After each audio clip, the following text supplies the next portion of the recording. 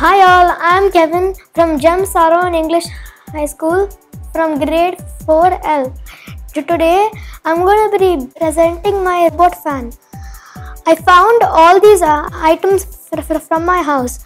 I found the cell holders from the clock, even the plate from the clock, and I got this propeller from a toy plane and connect the wire and then switch it on. It will rotate.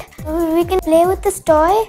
And my head of primary, my parents, and Junkbot really um, encouraged me to do this. And thank you, Diva. Thank you, Junkbot.